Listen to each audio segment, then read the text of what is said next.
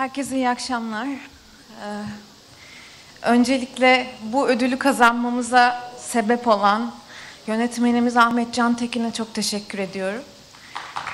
Ee, tüm gücümü toplayarak olabildiğince karşınızdayım mucizevi bir şekilde.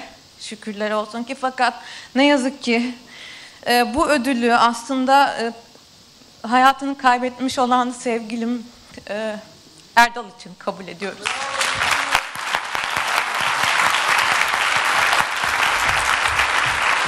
Çok teşekkürler. Kendisinin e, bu e, şarkıda, şarkının yapımında ve klibin yapımında çok büyük emeği var bizim gibi. E, o yüzden bu anı görmesini çok isterdim.